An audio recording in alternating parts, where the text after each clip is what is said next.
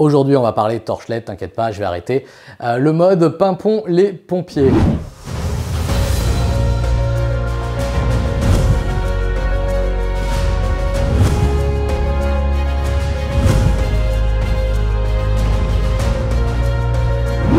Salut, c'est Manu de languedegeek.fr, la chaîne qui t'aide à payer la tech au meilleur prix pour te lancer en vidéo. Une boutique Amazon m'a fait la joie de pour une fois me proposer un appareil sympa euh, à m'offrir qui était une torchelette. Ça faisait super longtemps que j'en voulais une. Je sais pas si vous avez déjà essayé euh, d'avoir un ami qui joue le rôle comme ça de lampadaire avec euh, la lampe de son téléphone et ça fait quand même des résultats un petit peu aléatoires. C'est pour ça que généralement on achète un petit boîtier comme ceci. Alors là il est au minimum pour essayer de pas trop vous éclairer comme ça quand je vous vise. Je sais pas ce que ça donnera euh, à la vidéo.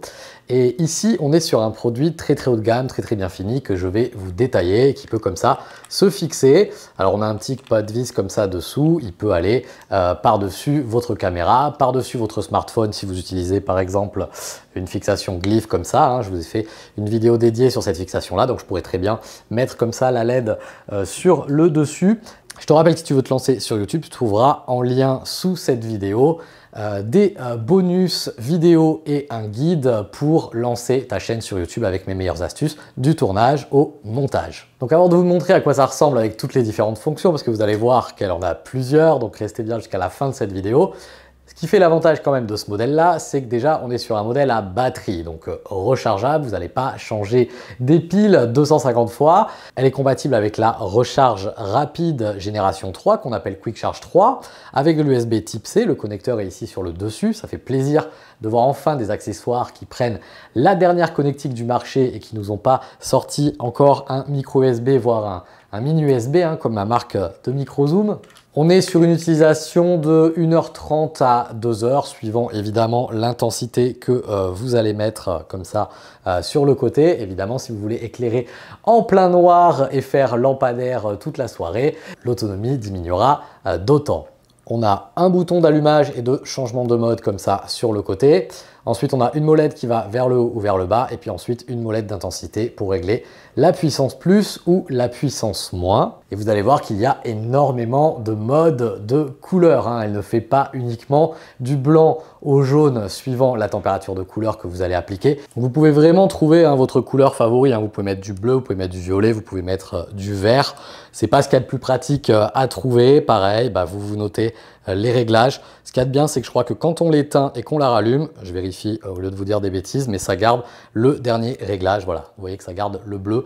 Donc si vous êtes sur la couleur qui vous plaît, vous pouvez quand même éteindre et rallumer. Et ça, c'est plutôt cool.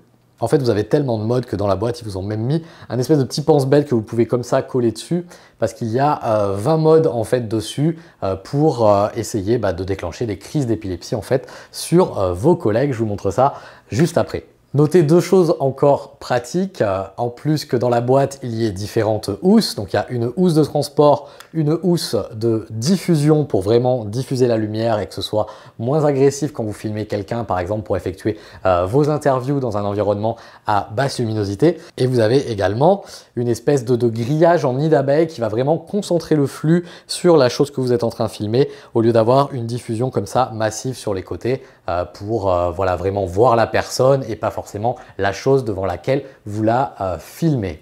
Alors évidemment, vous aurez une perte de puissance euh, si vous utilisez la housse de diffusion, comme ça, hein, qui se met un petit peu comme un, comme un chausson, et ou euh, la housse comme ça en, nid d'abeille qui permet vraiment de, concentrer le flux directionnel de la lumière. Dans la boîte également, vous avez un adaptateur comme ça, hein, qu'on appelle Cold Shoes, hein, qui est l'espèce de petit embout plat que l'on vient mettre sur la griffe du flash des appareils photo ou sur les pinces spécialisées pour pouvoir clipser euh, votre smartphone.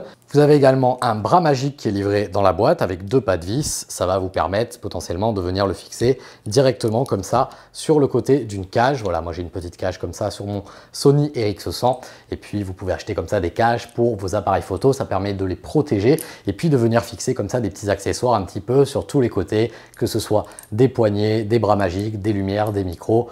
Ça rend votre appareil super polyvalent suivant euh, votre besoin du jour. À noter qu'elle est également aimantée, donc vous pouvez aller la euh, clipser comme ça directement, parce qu'elle fait quand même son petit poids hein, pour la fixer sur une fixation smartphone. Si vous avez un petit trépied d'entrée de gamme, va mieux falloir passer par le niveau euh, aimant et donc la clipser, je sais pas, sur un frigo, sur une voiture, pour pouvoir éclairer votre scène à filmer, même si l'utilisation normale, hein, ça va être quand même le petit euh, pas de vis fixation, donc cold shoes pour le mettre sur votre caméra ou sur votre clips à smartphone. Donc que peut-on faire avec ces 96 petites LED et une puissance de 12 watts? Eh bien on peut descendre comme ça à 2500 Kelvin. Donc là vous avez bien sûr une température de couleur plutôt euh, jaunâtre. Là, je dois avoir un petit peu le teint euh, blafard.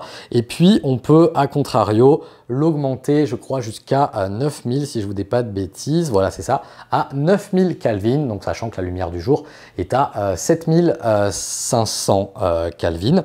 Vous pouvez ensuite régler comme ça la puissance avec la deuxième molette sur le côté pour ne pas rendre tout le monde aveugle suivant votre besoin et suivant votre proximité avec la chose que vous filmez. Donc vous avez le petit écran derrière hein, pour voir où vous en êtes niveau Calvin et niveau puissance. Et donc ce petit écran va vous indiquer le voyant euh, de l'autonomie, hein, où est-ce que vous en êtes au niveau batterie. Il va vous indiquer les Calvin, les euh, pourcentages de puissance que vous allez appliquer. Et puis vous allez manager cet écran très simplement comme ça avec le bouton euh, sur le côté. Donc c'est plutôt bien fait. Donc en deux minutes en gros euh, vous savez vous servir des quelques boutons pour changer le mode monter ou baisser la luminosité.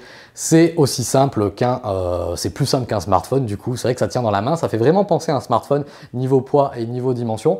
On est quand même sur quelque chose de 300 grammes hein. encore une fois attention elle fait quand même son petit poids et puis je vais vous montrer donc les magnifiques effets. Donc je me mets ici en mode scène en faisant défiler avec le petit bouton power. On arrive ici sur un mode scène qui est sur off. Et puis ensuite, avec le deuxième bouton qui va vers le haut ou vers le bas, eh bien, je peux comme ça faire défiler les vingtaines de modes qui vont euh, du stromboscope, du euh, truc coloré, du euh, pimpon des pompiers. voilà, ils ont différents noms. Et puis, vous avez le petit autocollant pense bête à directement coller dessus. À mon avis, vous les utiliserez clairement pas tous, mais il y en a peut-être un ou deux qui peut être sympa dans certaines situations ou certains modes pour déconner dans votre scène ou pour illustrer une petite scène de cinéma façon euh, sirène de police qui arrive, ou pourquoi pas euh, accessoiriser euh, l'endroit dans lequel vous tournez sur YouTube pour mettre comme ça une lumière derrière vous. Moi, je sais pas si on voit là parce qu'elles sont un peu mal inclinées, les lumières violettes qui sont derrière mes écrans et qui donnent un petit ton coloré comme ça à la scène où je me filme sur YouTube. Voilà, donc encore une fois, pas de réel défaut si ce n'est peut-être les réglages qu'on peut appliquer dans ces modes scène euh, de 1 à 20. Là, vous avez euh, très peu de possibilités de réglage.